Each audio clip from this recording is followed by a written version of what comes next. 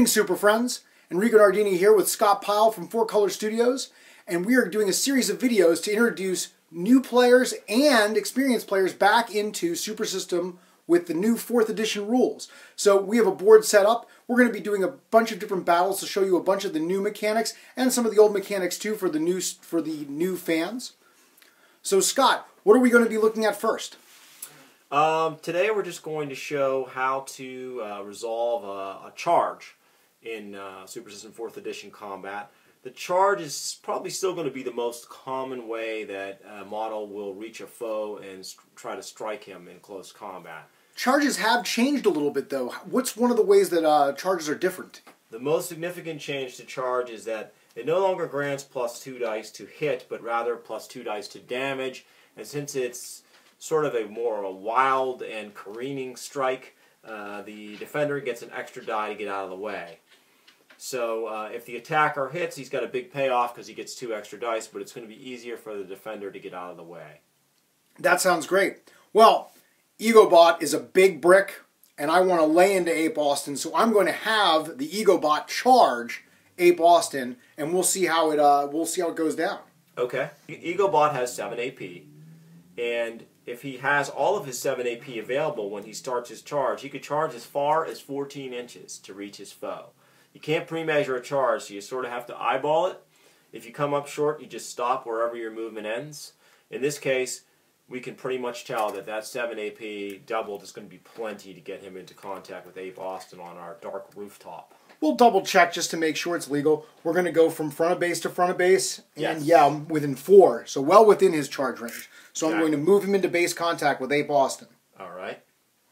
So, EgoBot has a uh, strike attribute of five, which means he's rolling five dice um, to hit his foe normally. However, EgoBot also has the implacable charge uh, boon, which is a like a, a, an ability that you can have, and he gets plus one die on on charge attacks only. And that, that's a little one point ability we added in. So with his strike of five, adding one die, I'm going to be rolling six dice, and I'm rolling the new Super System dice. But you could also use regular D6, and we'll explain the difference right after I roll this. Oh, only one success. Right. These symbols on the dice, on these special custom dice for this Kickstarter, uh, will help you quickly resolve your combats. Now, keep in mind, you can use standard six-sided dice, obviously, for the game. But these dice have these excellent symbols on them. Uh, where the four and the five would be, there are two sound effects, bam. And then where the six is, when 6 is count as two goals in Super System, we have biff pow. So there, you're basically just throwing your dice pool and counting the number of symbols.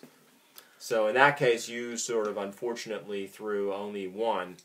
Um, Ape Austin has a dodge of four and one extra die. Because I charged. charged him. Ugh. And he got one, two, three goals. So he actually got out of the way of your charge attack. Okay, now it's Ape Austin's turn. And um, he's going to strike back. He uh, is already in base contact with EgoBot. So there's no need to charge him. And so he is going to, he could spend 3 AP and do a standard attack. Ape Austin has 7 AP available as well. In Super System, you can only ever make one attack per turn. But you can add additional AP to that base 3 AP attack to do things um, called combat maneuvers. And we have a host of those. They're sort of advanced rules, and once you're comfortable with regular combat, you can kind of start employing them in your games, and they really add that extra bit of flavor to Super System games because they really fill in the sort of details of a super combat that you're used to in the comics. One of the best moves um, for a, for a super strong models, that is models that possess the super strength attribute, is the Haymaker. Haymakers cost two additional AP to perform, so your 3 AP attack, this is the standard AP attack, becomes a 5 AP attack. You add two extra dice to damage if you hit. But like a charge attack, your foe gets an extra die to get out of the way. Thank goodness. Yes, EgoBot is uh, has only a three dice dodge, but since I've announced I'm going to do a haymaker, he gets an extra die to uh, get out of the way of this attack. And I hope they don't all come up like that.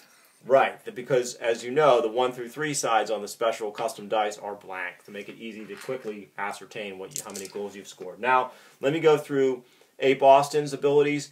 He has a strike attribute of of uh, four, so he's got four dice base, and uh, you've got your extra die. Uh, I'm doing a haymaker. But EgoBot is massive, and massive is a is a is a negative ability that gives you extra points to spend on the model, but gives me an extra die to hit. So I'm going to throw that extra die in. I'll make my attack goal roll, and you make your dodge goal roll. Strike dodge, uh, strike versus dodge. Oh, Uh, I did roll all no. Scored zero goals. I rolled all good. blanks. Oh, my goodness. wow. All right, I tagged the big man. That's going to be a big hit. That is two, three, four, five, six goals. So I carried six goals against your uh, zero dice uh, dodge total. That means you'll be carrying three extra dice into the damage pool. That's right. Um, my base damage pool is my strength, which is a six super one, and and in and in super system, uh, super gives you a number of benefits, but the most obvious one is that whatever level your super is, you can re-roll that many dice on your throw. Alas, um, the uh, EgoBot did not have any super dodge, so he's not re-rolling any of those dice. No. And I don't have super strike, and I wouldn't want to re-roll these anyway because they're all good. So I'm carrying three extra dice for damage. I'll put those aside, and I have six dice base for strength. Um, so that's nine dice. Um, EgoBot is tough. Uh, so he has a six die super two toughness. So he's got two rerolls on toughness. I've got one reroll on my strength, and I'm going to hope my extra dice can carry the day here. Ooh, that's bad. I get a reroll though. Ah, and it comes up for me. Now, I've got three successes so far, but of my four, because of my Super 2, I'm going to be able to re-roll two of these. Right. So I'm going to roll two of these and hope that I get some more Right. successes. But I don't. And I actually forgot that I had done a haymaker, so I have two more dice Ah, from my haymaker. That one fell off the board. So, oh wow, okay, that made all the difference. So that's two, four, six, eight, nine, and you got in your defense three. So I- EgoBot, no! So that is six vitality marked off on um, the EgoBot's uh, super sheet. I'll check it off over here. You're just going to have to take my word for it on the video. Okay. Now I've inflicted six vitality on him. Uh, unless you do a special attack that that that uh, precludes knockback, every physical attack in the game has a potential to knock a foe back. That keeps uh, these combats very dynamic because models are careening back and forth uh, around the board as they get knocked back from the savage blows of their opponents. So I've damaged him with six vitality. That equals six knockback dice right away. Three, six. The haymaker adds one. And I'm super strong, level one. That adds two. So I've got a bunch of knockback dice to roll here. And every goal I score on these is one inch worth of knockback on the massive EgoBot. And I say massive because his massive is going to subtract, his massive level of one is going to subtract one inch from this knockback, the total that I roll. And since my strength was super, I get a reroll on this too.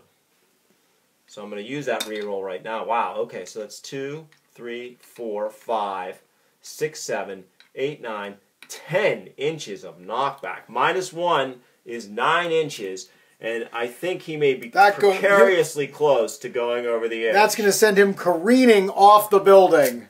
Yes. Now, uh, in the rules for the rooftop rumble scenario, he would have a chance to grab the edge, but a model with such low dodge as his, he's probably not going to do it. But he would roll three dice and need to hit a target number of three, I believe, to grab that edge and hang on for dear life. But I think we're probably going to say goodbye to the ego bot as he hits the street level. I hope there's no uh, innocent civilians down there. All right, folks. Thanks for watching and check back for more videos from Four Color Studios on Super System 4th Edition. Thank you.